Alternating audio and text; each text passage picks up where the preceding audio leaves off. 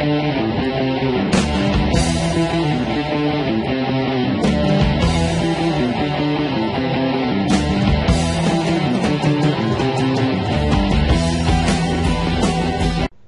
guys, what's up? Hillrocks99 here, and today I'm going to show you how to make a server on Minecraft 1.4.7 with CraftBukkit. Now, what you're going to want to do first is you're going to want to download the CraftBukkit and put it in any folder that you want, which will be your server folder. And it'll have a bunch of numbers in it, but you need to rename it to just craftbukkit.jar. And once you do that, you're going to want to make a new text document and you're going to want to paste this code from the description. Now, this is for people with 32-bit.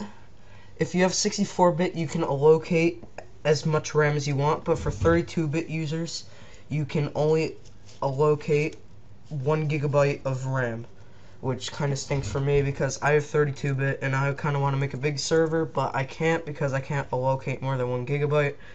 So, yeah. So until they come out with a fix with that, which I never think they will, you're just going to have to only have 1 gigabyte of RAM dedicated to your server if you're on 32-bit.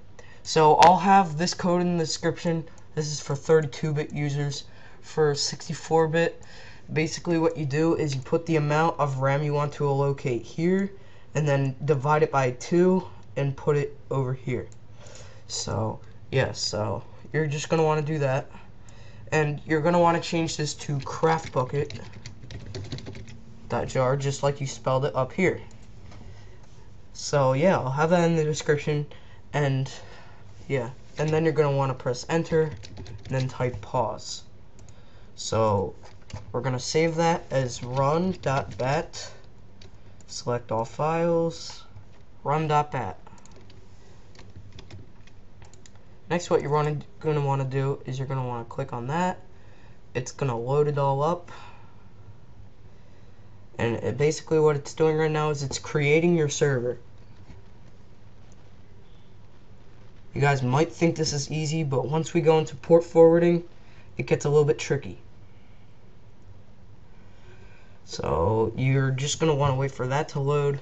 It only takes about probably a minute, maybe less. And yeah, so it's done. And once you're done with that, you can just type stop, and it'll stop.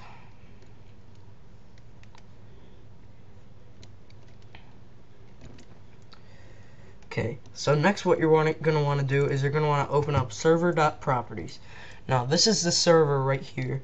So, basically, this is the most important part right here. One of them. This is if you want to make it a cracked server. I also have this in the description too. If you want it to be a cracked server, you change it to false. If you want to leave it as a premium server, you change it to true. And that's all there is to it. So I'll make it false because I have cracked Minecraft. And yeah, so allow nether, true, level name. This is what your map is going to be named. I'll make it X Hill Rocks 99X enable query, false, allow flight false, server port, keep that at 25565.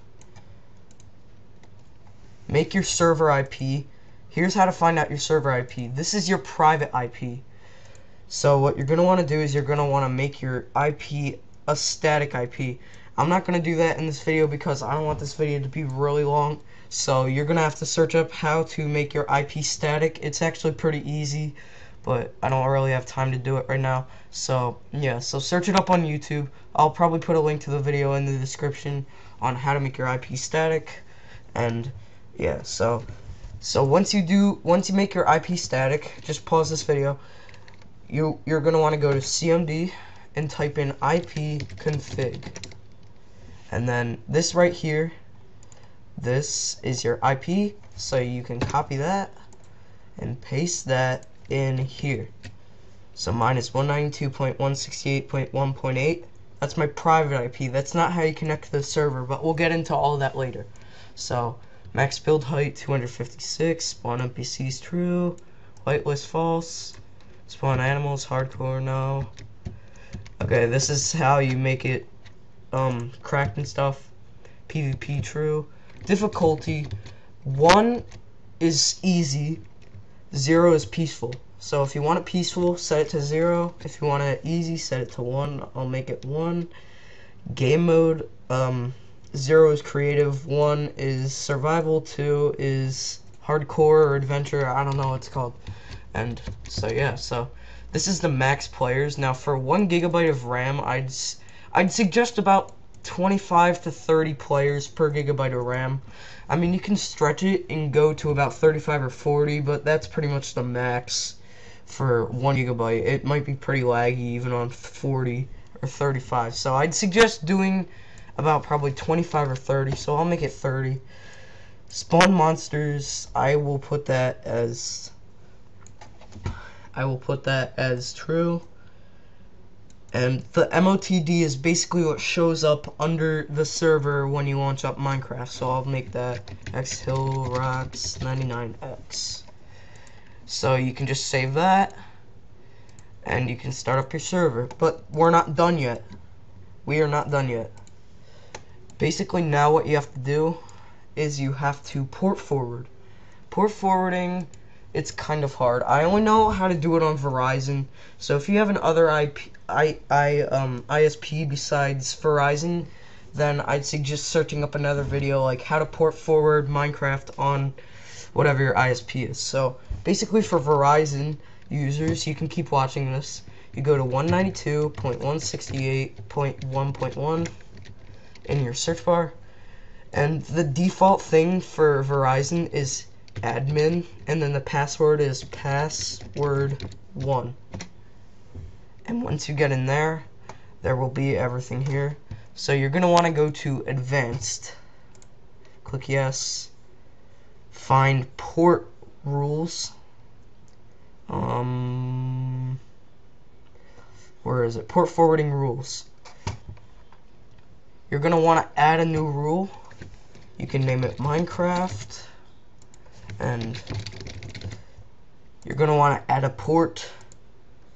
You're going to want to make one TCP. Make this any. And then make this single and type 25565. Next, you're want to do gonna add another one. Select UDP. Same thing.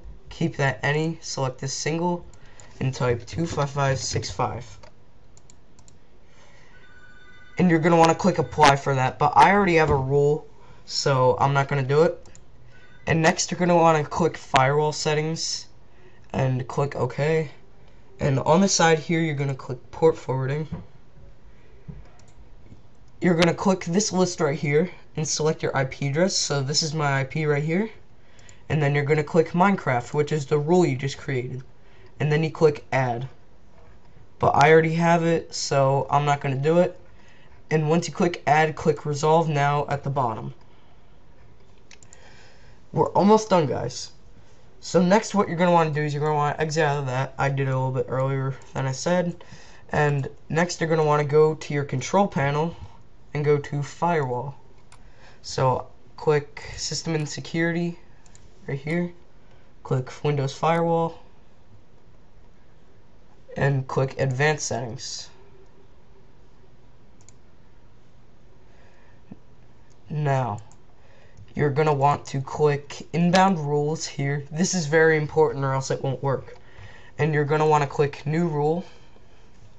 Click on port. Select TCP. Type 25565. Allow the connection. Select all these. Name it Minecraft TCP and click finish. Now I'm not going to do this because I already have my rules in there and I don't want to mess up my server. And then what you're going to want to do is you're going to want to click new rule again, select port again, but this time select UDP and type 25565 again. Do that, do that, and name it Minecraft UDP. So again, I'm not going to add it because I already did. Next, you're going to want to click outbound rules and do the same thing. The reason I do this is because I don't know which which rule to do it for. Uh, I, I haven't been able to find an answer. I'm, I'm sure, I'm pretty sure it's inbound rules, but just do both. So click outbound rules and do the same thing. New rule, port, select TCP, 25565. Next, oh, allow the connection, next, Minecraft TCP, and then do the same thing for the UDP for both, and then just exit out of that. And then, your server will be done. All you have to do next is you have to get your IP address from online. So I'll have a website to that. You just Google what's my IP address Basically what the port forwarding does is it goes through your IP address and connects to your private IP address which connects to your computer and goes to the Minecraft server.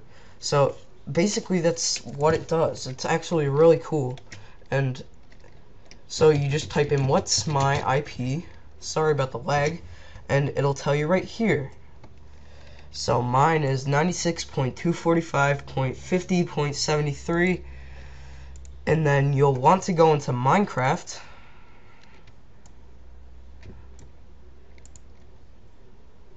And you'll and you'll click add server. You'll paste it and then type colon 25565 and that is how it connects to your server. Now it it'll show up on here hopefully. So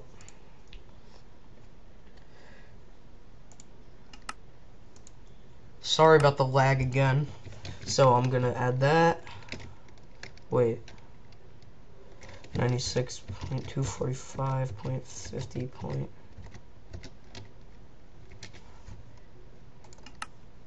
Uh, I don't remember my IP again. Let's see what it is.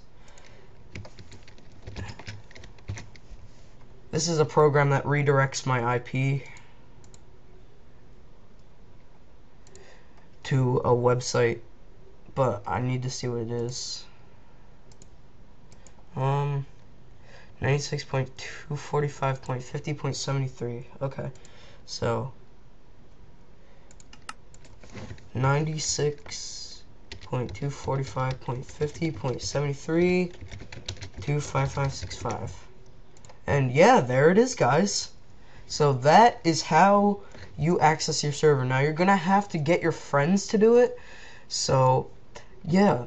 So um one of my friends is on it because I run a normal server with the same IP and he's basically on it right now.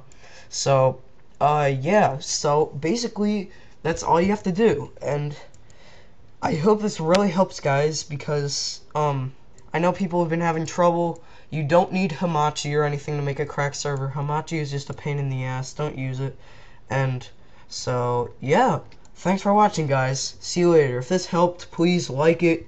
It makes me know that you liked a cert, you like the um, video, and it helped you. And yeah, so see you later, guys.